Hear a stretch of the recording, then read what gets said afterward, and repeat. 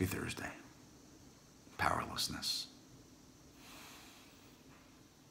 For me, I am powerless over people, places, and things.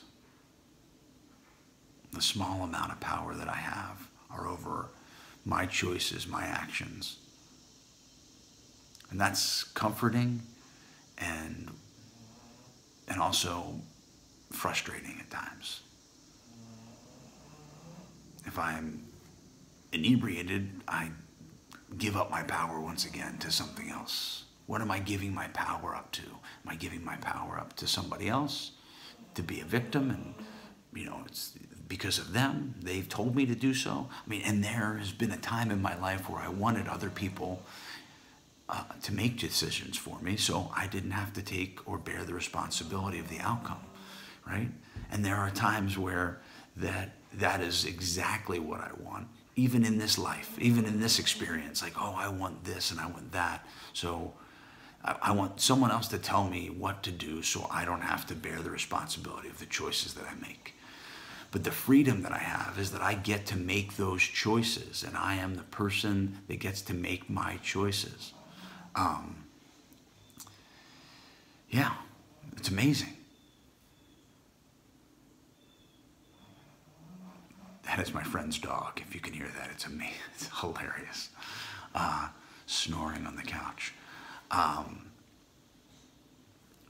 I'm powerless. I, I, mean, I could wake the poor dog up and tell her to go in the other room, but we're not going to do that. Um, the acceptance of the powerlessness that we have in the world is another wrestling point. You know what I mean? Like, I, you know, and there we are in a time we are in a time in this world in our experience in our reality that the struggle for power is very upfront you know, the, uh, the misuse of power is, is at the forefront of things. The manipulation of power is at the forefront of things.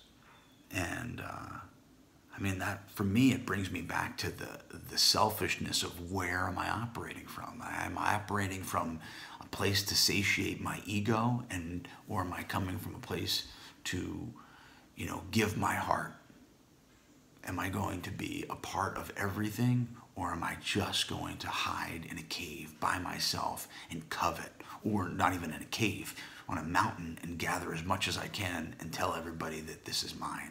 Don't come near me.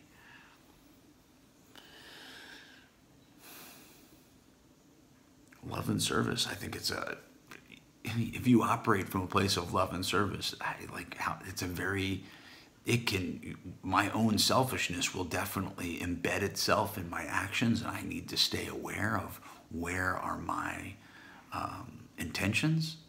But when you're operating from service and love